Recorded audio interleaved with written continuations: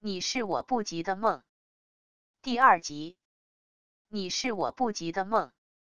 车子抵达月牙泉的时候，一同进入这山谷的人都往水边奔去，骆驼全跪着休息了。我趴在碎石地上，拍摄着一块又一块覆盖在驼背上的布料，那被我称作民族花纹的东西。有声音在一旁说：“这有什么好拍的？不过是一些破布呗。”我收了底片，弯下腰来抖散着发中掺杂的沙子，突然抬眼。向那围观的人群灿然一笑。玉莲，那位将我驮进山谷里来的女子，笑着上来问我：“姐姐不上山去？”我看了看日头，看了看眼前直到天际的瀚海沙洲，又看了看玉莲，说：“好的，我们走走去。”我梳起头发。戴好帽子，蒙上口罩，慢慢跨上骆驼。姐姐拉稳，看站起来了。玉莲喊：“不怕，没事。”我说：“可以走了。”玉莲抓着骆驼绳子，在我的前方行走。姐姐以前看过沙漠没有？看过的。我看姐姐骑骆驼跟旁人不一样。别的人来把他当马一样骑的，那么下地的时候就不好走路了。我笑了起来。我们穿过沙海，沿山丘的弧形棱线往上爬。驼铃的声音垒当垒当在大气里回荡。在远的山头上，两三匹驼影停在高处。玉莲说。那肯定是日本人，不去管日本人。我说，玉莲儿，日子好过吗？可以，一天攒个十来块人民币。那骆驼要吃掉几块呢？骆驼不吃钱。玉莲笑了，骆驼吃田里的草，我们给种的。过了秋天，骆驼就吃干刺，能活吗？我说：“别的牲口不能，骆驼可以。你们够活吗？我们一家三口足够活。到了冬天，没有人来骑骆驼了，怎么办呢？我们是攒的钱省省地花，加上六七月田产出来了，麦子磨成面放起来，冬天不用愁的。你爱人呢？”玉莲，爱人在家抱娃娃，不出来锁骆驼吗？他并不会托人，一个客人都拖不到，只知道看看，站了一天到晚的。你是心疼他才这么说的，他真的是不会。说着，玉莲扑的笑出来了。哄娃娃事情也怪多的。玉莲结婚几年了？两年多，一个娃娃。嗯，还想要一个？不怕罚吗？不怕，三个就不可以了。不是罚很多钱吗？没关系，娃娃好。玉莲，你们是农民？哎，算是农民，也养骆驼。小骆驼不好养，是去买现成的大骆驼来的。向谁去买呢？我爱人和他的爸爸向少数民族那边去买，一条一千块，要锁三天三夜才回来。那边一个叫虚北的地方，骆驼老了不能再为你们赚钱，你们拿它怎么办呢？我们就养它。姐姐骑的这条才两岁多，我们往更高的棱线上去。玉莲，我说你乖，叫骆驼跪下。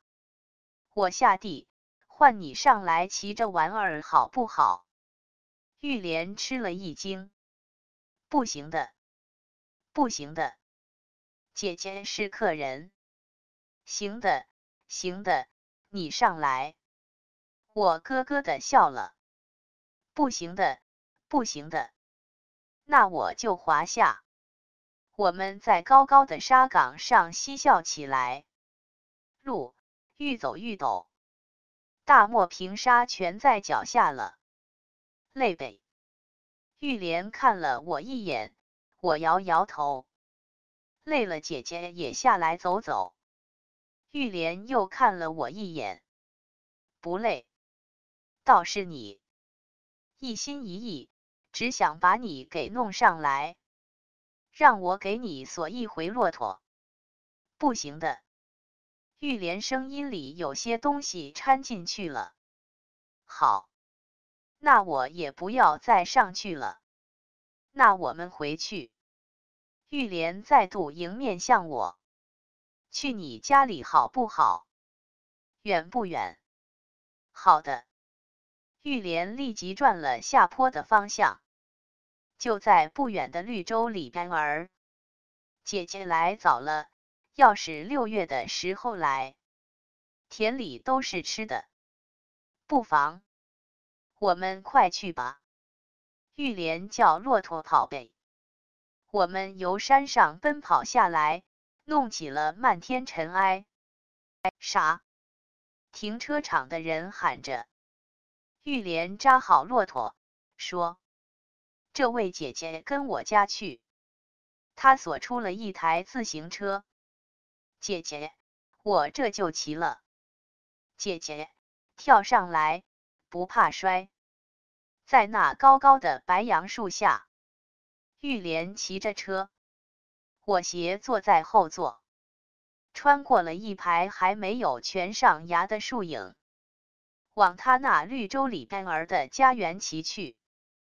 我们去年分了家，也就是说，里里外外全都分了，田产、收入、房间、炉灶都给分了。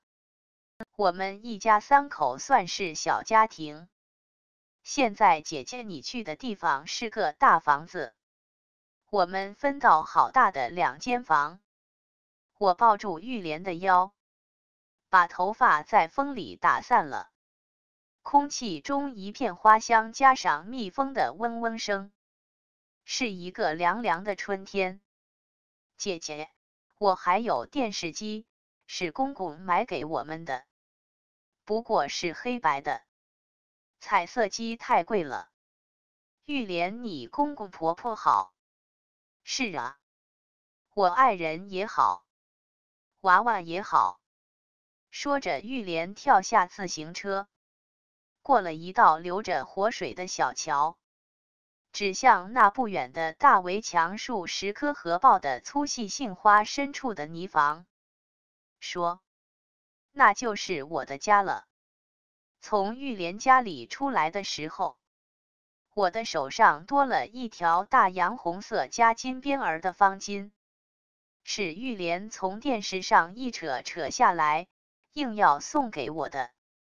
玉莲的公公婆婆送到门口，见我只喝了糖茶而不肯留下来吃面条，有着那么一份不安和怅然。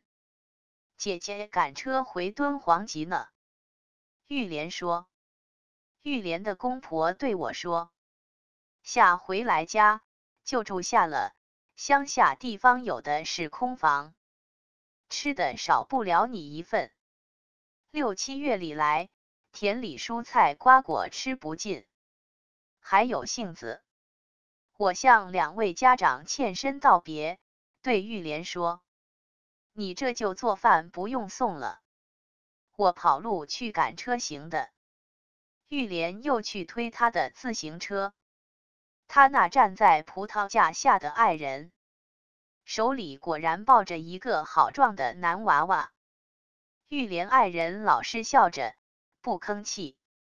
穿过大片薄绿的田野，穿过那片黄土地上开满着杏花的树园，我们上了桥，渡过溪水，又的离去了。我望着村落里向那长空飘散而去的一丝炊烟，把鞋子在田埂边擦了擦，笑看着玉莲说：“不想走了，有这么好吗？”玉莲呐呐的说。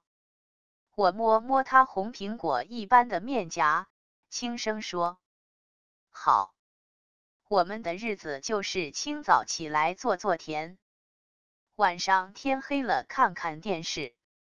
外边儿的世界也没去过。外面吗？”